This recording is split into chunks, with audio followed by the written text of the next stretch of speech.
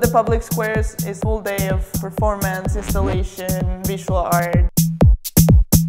An explosion of meditations on how we find and empower the truth. I was really inspired and motivated by the performances. YBCA has fostered a really incredible and unique space for artists and for practitioners throughout the Bay Area. YBCA, I think, wants to be in service of free thinkers and folks that have really interesting and provocative opinions about how to move culture forward.